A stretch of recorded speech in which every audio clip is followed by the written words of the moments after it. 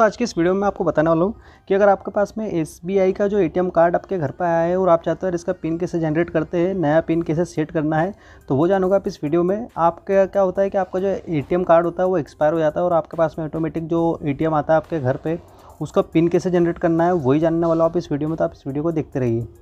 तो सबसे पहले दोस्तों आपको क्या करना पड़ेगा, आपको आपका बैंक अकाउंट की ज़रूरत पड़ेगी और साथ में आपको आपका मोबाइल नंबर वो होना चाहिए और मोबाइल होना चाहिए जिस पर आपके ओटीपी आता है बैंक की तरफ़ से। तो आपको वो दोनों की ज़रूरत पड़ेगी जब भी आप एटीएम पे जाना और फिर पिन जनरेट करना। तो चलिए देख लेते हैं। सबसे पहले आपको चले आना एटीएम पे। एटीएम पे जाने के बाद आपको क्या कर लेना है? अपना कार्ड जो नया आपके पास में आया है, वो नया कार्ड को आपको क्या कर देना है? एटीएम मशीन में लगा देना है।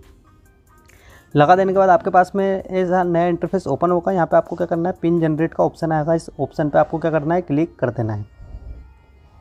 क्लिक करने के बाद आपको आपके अकाउंट नंबर की यहाँ पे क्लिक करने के बाद आपको क्या करना है? अकाउंट नंबर यहाँ पे ऐड कर देना है।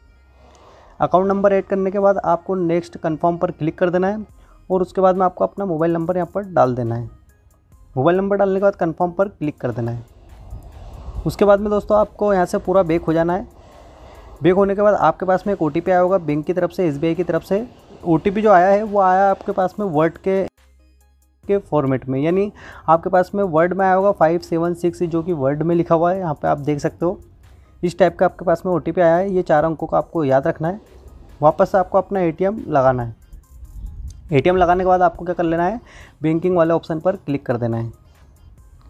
क्लिक करने के बाद आपको ये बोल रहा है, पच्चीस नंबर यहाँ पे रेट करो पहले सिंपल तो पच्चीस टाइप कर देना, उसके बाद में आपको यहाँ पिन का ऑप्शन आएगा। तो पिन में आपको कौन सा पिन डालना है? जो आपके पास में मोबाइल पे ये जो पिन आया था, चार अंकों का, जो कि वर्ड में लिखा हुआ है, देख सकते हो यहाँ पे। तो इस टाइप का आपको चार अंकों का पिन आपको यहाँ पे इस पर टाइप करना है। रखना चाहते हो अपना एटीएम का नया पिन चार अंकों का वो आपको यहाँ पे डाल देना है। उसके बाद में आपको कंफर्म वापस से एक बार फिर यही पिन वापस डाल देना है। उसके बाद में आपको यहाँ पे कंफर्म पर क्लिक कर देना है। ये आपका जो पिन है, आपने बना लिया है जनरेट हो गया आपका नया पिन जो आपने सेट किया है बिहार चार अंकों का।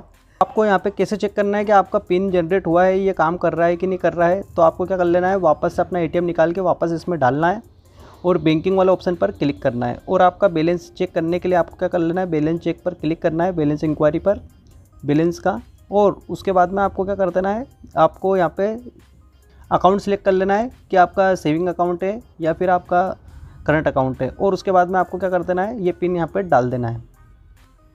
पिन डालना है और देख लेना है, आपको पता चल जाएगा ये पिन काम कर रहा है कि नहीं कर रहा है। तो इस तरह से आप क्या कर सकते हो, अपना जो भी नया एटीएम आया है एसबीआई का, उस उसका आप पिन ऐसे जनरेट कर सकते हो। तो अगर आपको वीडियो इन्फॉर्मेशन अच्छी लगे तो इस वीडियो को लाइक से सब्सक्राइब करना ना भूलना। इसी वीडियो देखने के लिए चैनल को सब्सक्राइब करें। Thank you for watching